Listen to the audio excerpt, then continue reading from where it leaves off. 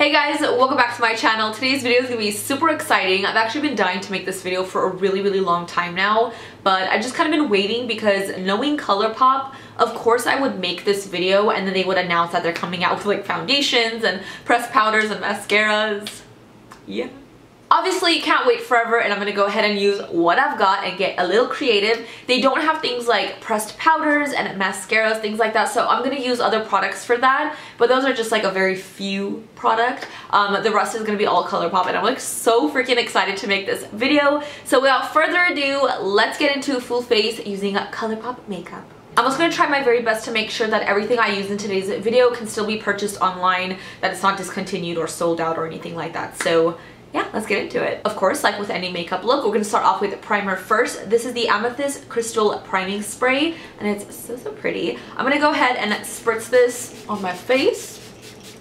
It smells like cucumbers. For my foundation, I'm going to be using the No Filter Concealer all over my face as a foundation. I have done this once before. I remember when I first reviewed these on my channel, I did half a face wearing it as a foundation what am I saying? So that's what I'm gonna do today. It's been a while. Um, I'm gonna see which shade I'm going to be. I wear the shades 5, 10, and 15. Those are like the closest ones to me. As you can tell, like I am running pretty low on some of them. I think I'm gonna use the shade 10 Fair Neutral and I'm just going to make a bunch of marks. I'm gonna work pretty quickly so that it doesn't like dry down too quickly just gonna apply a bunch of little stripes. This concealer does dry down a little bit darker at first application. I don't know if you can tell, but see?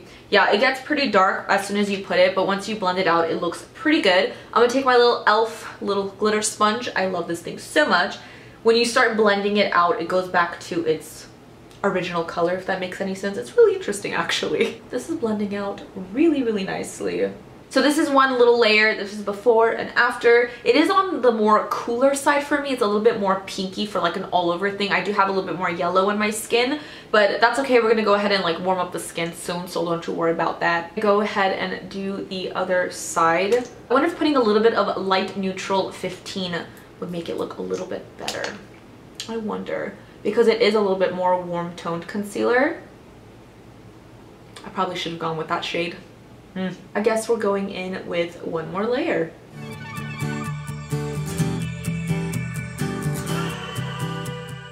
I'm looking a little ghostly, but don't you worry, we will warm up the skin. It actually doesn't look too bad in real life, but I have to say it looks so pretty on the skin, like really, really flawless, amazing. I want to say full coverage, and it's not super matte and it's not super luminous. I would say it's a very natural satin.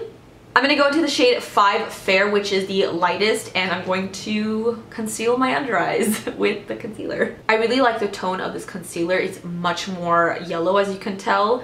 I like more yellow-based concealers, for me personally. I wouldn't be surprised if I start wearing this like a foundation because it looks really, really good. I'm to go into a little bit of a darker shade to cream contour. I haven't really cream contoured with this color before.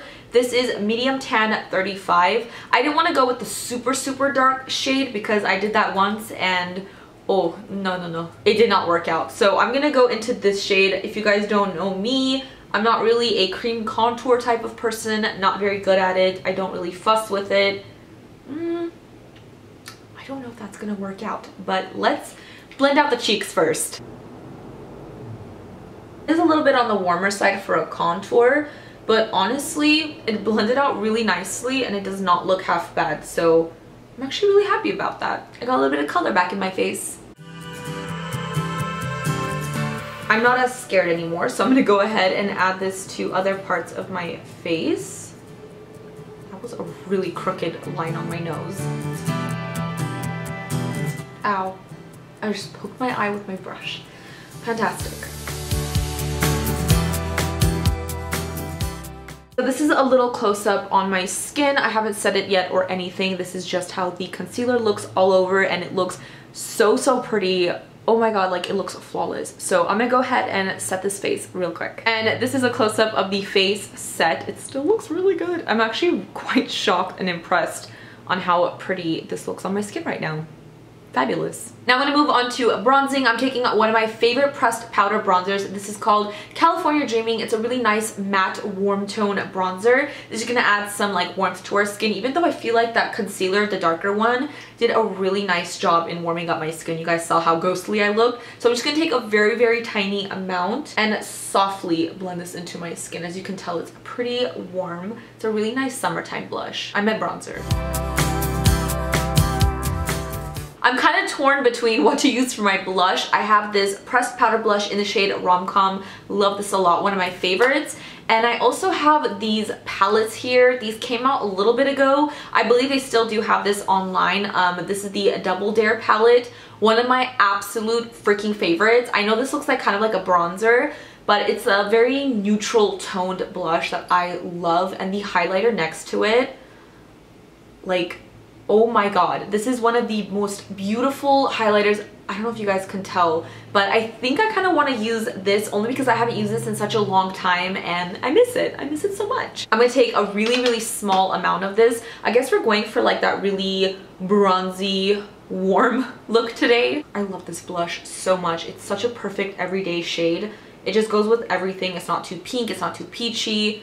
It's matte my favorite. I was crossing my fingers and hoping that they still had this palette and they do so I highly recommend this if you're like in two tones like this. And for highlighter, we have so many options. We have the Super Shock cheek highlighters, we have highlighter palettes, we have the highlighter that comes in this palette. It's just, there's a lot. We even have pressed single highlighters. I'm overwhelmed. I really want to use the highlighter that comes in the double play duo because it's so freaking pretty and it's been a while. But I also want to take a little bit of the Super Shock cheek highlighter in the shade Lunch Money, which is a really pretty soft golden pearlescent shade. I'm gonna go into Lunch Money first on a really small highlighting brush. And I'm just going to pop this on my cheeks. It's so freaking pretty. Let's do this side.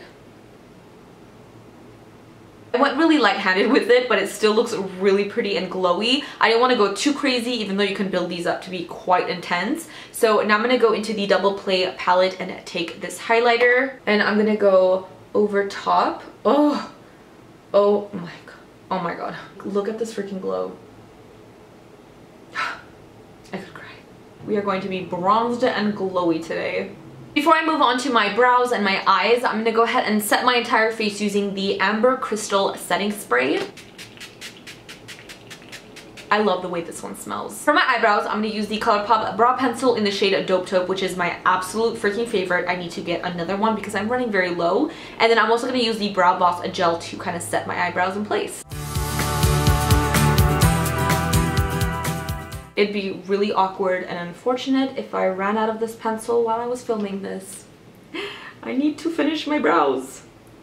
Now I'm going to go into the Brow Boss gel and just quickly run that to my brows. I'm looking at my skin up close right now while I'm doing this and I cannot get over how flawless my skin looks. I have no pores. I have nothing. I have no imperfections on my face. What is going- oh my god, I'm gonna have to wear this concealer as a foundation.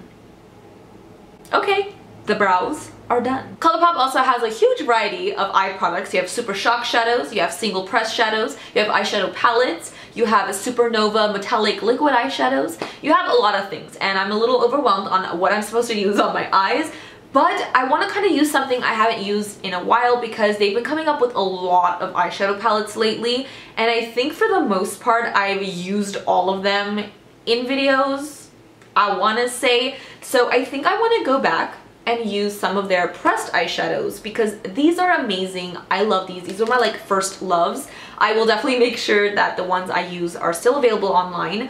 But I'm really excited and then maybe I will throw in a Super Shock shadow on the lid who knows? I don't know what I'm gonna do, what look I'm going for, but we're gonna do something and let's just get into it already. I'm literally sitting here on my iPad searching every single shade on ColourPop's website just to make sure that it's in stock and this is going to take absolutely forever. I'm starting off with the shade Hear Me Out, which is the most perfect matte brow bone highlight shade. I love this so much. I've used the crap out of this. It's in one of my go-to ColourPop neutrals palette. For anybody wondering, ColourPop go-to neutral palette, huh?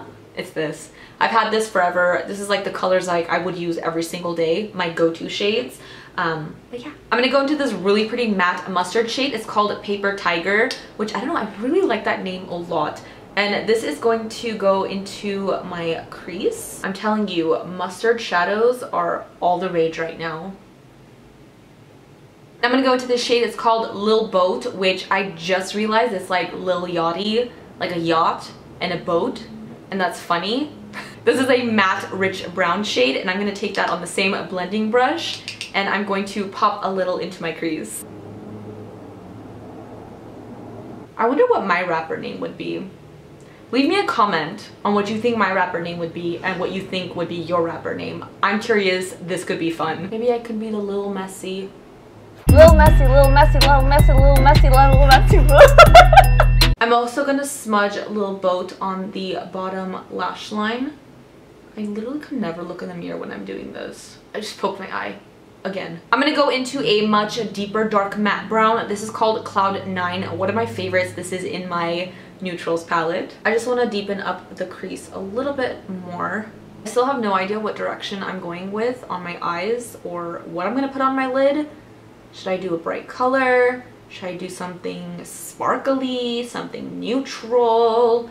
What do I do? Okay, so I literally spent 30 minutes going through my entire collection because for some odd reason, everything I wanted to put on my lids today was discontinued and no longer on the ColourPop website. So I'm like, okay, what do I do? So I finally figured it out. I'm gonna do like a minty lid since I kind of am wearing mint. Why not? So I'm gonna take the shade Snapdragon, which is a matte Super Shock shadow, and I'm gonna take the shade Special Delivery, which is a ultra glitter. One of my favorites. It just gives you like a beautiful deposit of sparkle. Ooh! And I'm gonna pair this on top of this one. I'm very excited to see how this goes, so let's get into it. I'm gonna start off with Snapdragon, and I really wanna use my finger, but I have really long nails, so I'm gonna try with the brush first and see how that goes on. Then maybe I'll just go over it with my finger. Pop this on.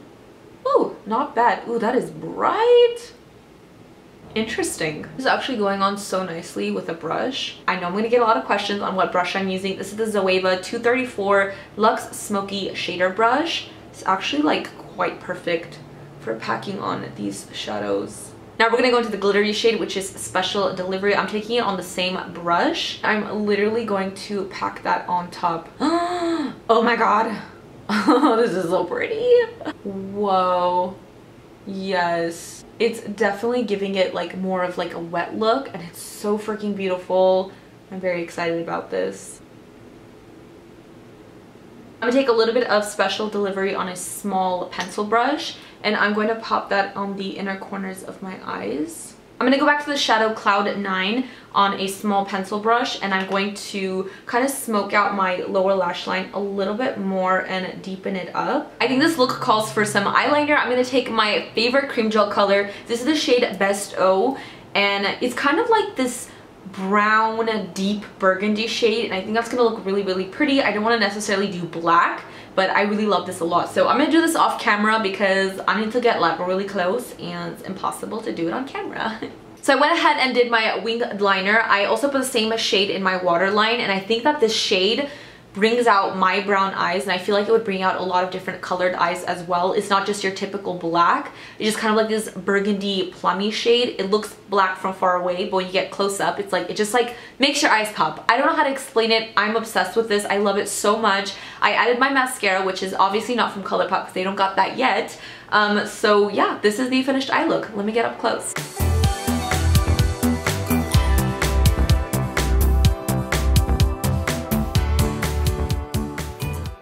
And lastly, of course, we have the lips. And I'm gonna be wearing one of my absolute favorite ultra matte lip shades at the moment. Actually, for a while now, it's so freaking pretty. And I was very fortunate enough to find out that it's still available online. I was crossing my fingers. I was like, please don't be discontinued. So this is what it looks like. It's called Lil Pump. Not a huge fan of him, but a huge fan of this shade. It's a really pretty cool tone, pinky nude. Ugh, let's just put it on the lips already.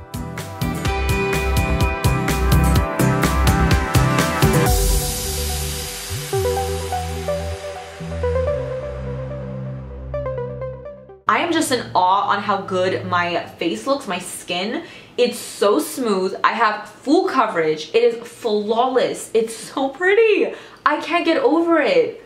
What the heck? This performed better than like 85% of the foundations I own. Like this is definitely something I would probably even wear again as a foundation. I'm just shocked. I'm wow. If you have the No Filter Concealer, please try it out as a foundation and let me know what you guys think. Obviously, everybody's skin type is different, but for me, it's looking pretty fantastic. And it goes without saying that everything else went on perfectly because I used a lot of my tried and true favorite ColourPop products and I am just feeling myself so much right now. I look good. I'm not going anywhere. I'm staying home. It's always like that. I'm just honestly beyond happy right now. I hope you guys enjoyed this video. Uh, I hope you like the look that I came up with. Finally, I did it. A full face using ColourPop. One day, they're gonna come out with foundation, powders, mascaras, and maybe we'll do an updated version of this. But yeah, thank you guys so, so much for watching. As usual, don't forget to follow me on Twitter, Mesi Jesi Beauty, Snapchat, Jesi Jett, and Instagram, Makeup by Jesi. And of course, if you have not subscribed to my channel already, I would... Uh, uh, I would appreciate if you did so before you go. It truly means a lot to me and I'll see you guys in my next video.